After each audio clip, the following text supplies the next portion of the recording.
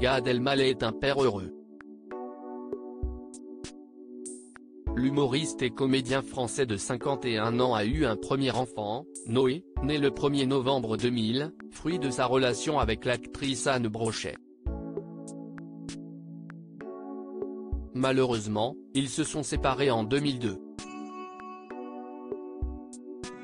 Mais après plusieurs idylles plus ou moins fructueuses, Gad Elmaleh a eu un second enfant, Raphaël, né à Monaco le 17 décembre 2013, issu de son union avec Charlotte Casiraghi, membre de la famille princière du Rocher. Ils ont rompu en octobre 2015.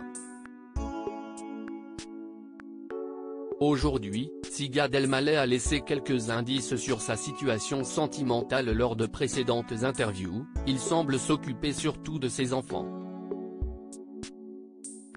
Noé est aujourd'hui âgé de 22 ans et a entamé une carrière de mannequin.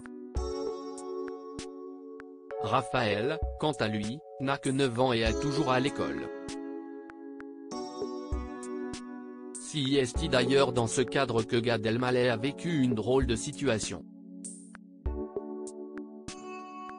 Invité sur les ondes de la radio Europe un jeudi 19 janvier 2023 pour promouvoir son spectacle intitulé d'ailleurs, qui sera diffusé sur la chaîne cryptée Canal+, l'humoriste s'est livré dans l'émission nommée Culture Média animée par Philippe Vandel. Le comédien se remémore d'avoir un jour reçu un mail de la part de l'institutrice de son petit garçon, Raphaël, alors qu'il était en spell de bas. L'objet du courrier électronique était inquiétant, votre fils, urgent, a-t-il ainsi pu découvrir? Une leçon. Original j'étais un peu flippé, explique Gad Elmaleh, en bon père qu'il est. Siesti alors qu'il se rend à l'école de son fils et se retrouve en face de l'enseignante pour un rendez-vous. Étonnant. Celle-ci tourne quelque peu autour du pot, avant de lui dire, si est vrai que les apprentissages, ça va, mais il faut que je vous dise que voilà.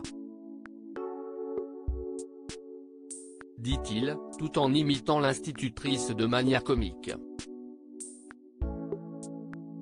Elle me dit, je vous le dis, il tient très mal son stylo, conclut finalement l'humoriste. Plus de peur que de mal donc, en espérant que Raphaël Elmaleh a retenu cette leçon plutôt originale. Cette histoire est d'ailleurs issue du spectacle de Gad Elmaleh, qu'il jouera à Tel Aviv au mois de mars prochain.